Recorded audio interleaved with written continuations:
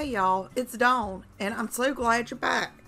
I've got another fun, budget-friendly DIY video for you today. Today's video is part of the 12 Days of Christmas Ornaments playlist hosted by Mimi from Crafting in Mimi's World and Melissa from Melissa Makes It DIY. You'll find links to both of these amazing crafters along with a link to the playlist in the description. Now for the first DIY. I've had this cord in my stash for a while now. I got it from Amazon and you can find it in my Amazon store. The link is in the description. I decided to make some Christmas ornaments with it. For the first ornament, I used a book ring from Dollar Tree. I made a slip knot by wrapping the cord around two of my fingers and pulling one end through the hole. I inserted a crochet hook through the center of the slip knot.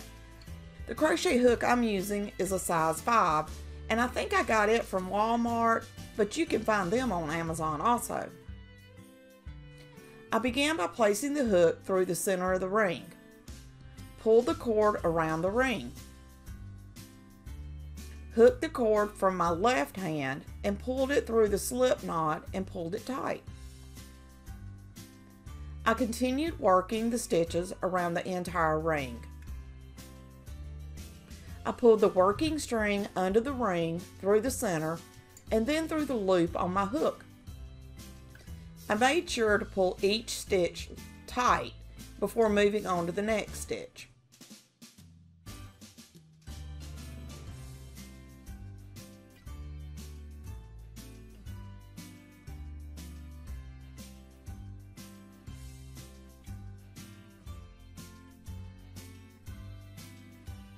Had a few stitches on, this is the pattern I had. See the small V's around the ring? I continued crocheting around the ring until it was full.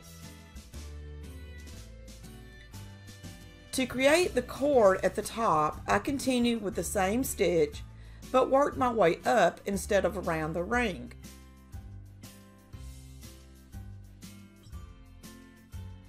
I made a small bow using the macrame cord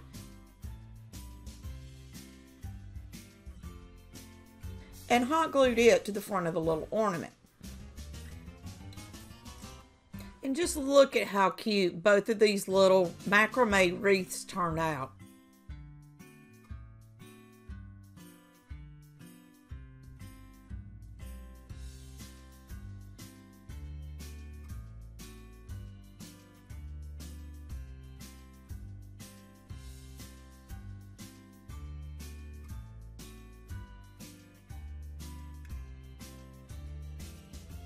For the next ornament, I cut several pieces of macrame cord at 12 inches long and used another ring.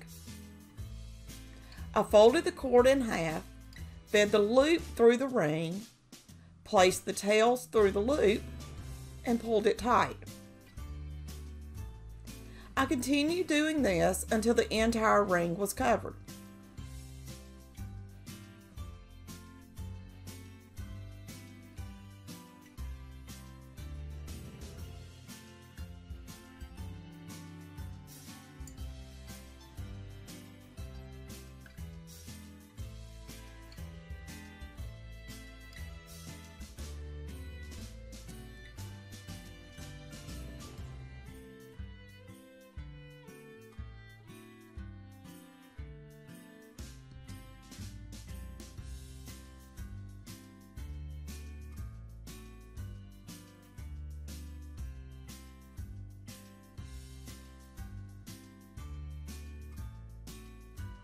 I pulled two of the loops, four strings out. I crossed the rightmost string over the two center strings to create what looks like a figure four. I then pulled the leftmost string over the end of the figure four, pulled it under the end of the four, and then through the loop of the four.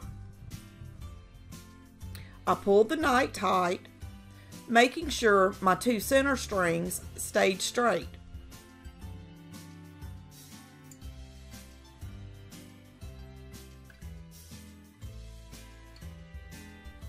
Let me show you that one more time.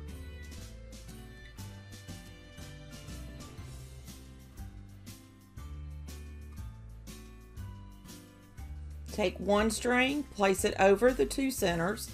Take the other string, place it over the figure four. Pull it under all of your cords and through the loop. And then tighten it up.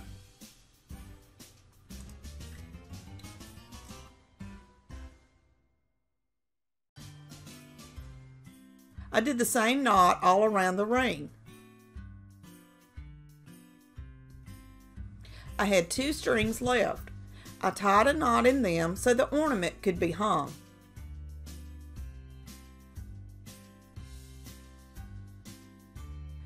I created another row of knots using four strings. Across the left string over the two center strings, creating a figure four. With the rightmost string, I placed it over the top of the figure four, under the figure four, and pulled it through the center of the figure four. I pulled it tight. With the leftmost string, I did the same thing, but used a reverse figure four.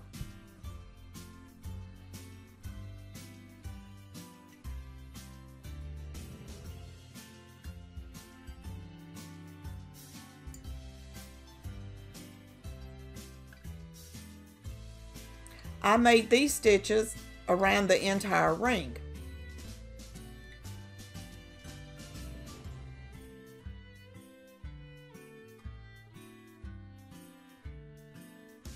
For the larger snowflake, I did the same as before, but added another row using the figure 4 twice.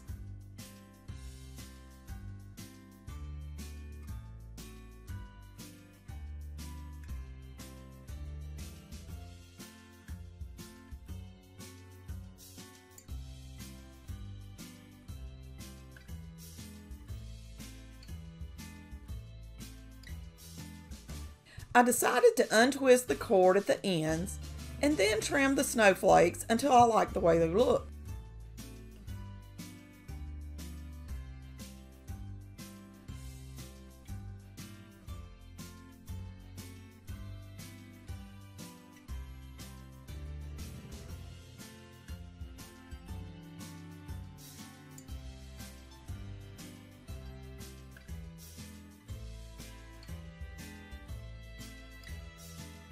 For the angel ornaments, I use these wood angel wing cutouts that I got from Amazon, and you'll find a link to my Amazon store in the description. I cut a piece of the macrame cord and laid it to the side. I then wrapped the cord around my hand several times to create a tassel.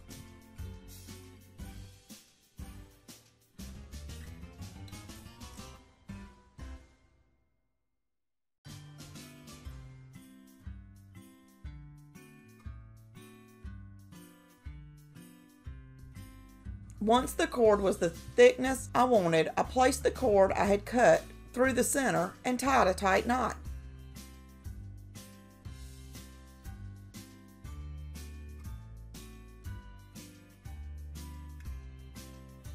I cut off the cord and then cut the tassel cords in half.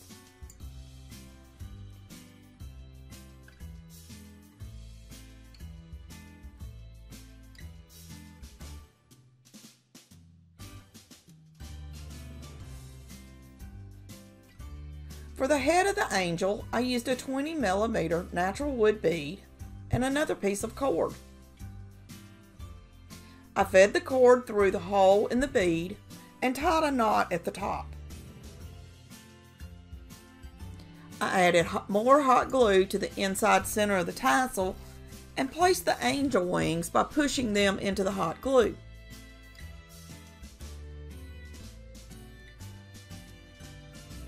I placed more hot glue at the top of the tassel and attached the angel's head. I untwisted the cord and tied another piece of macrame cord under the wings.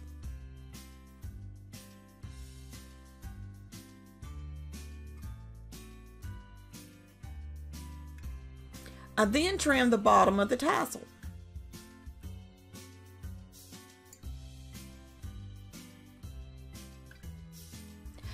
Another tassel but used longer cord and after untwisting the cord, I brushed the tassel out.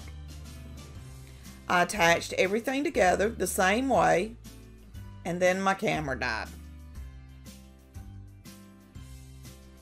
I think both the angels turned out so stinking cute, but in my opinion, I like the longer tassel one better. Let me know what you think of these cute macrame ornaments and if you'll be giving them a try.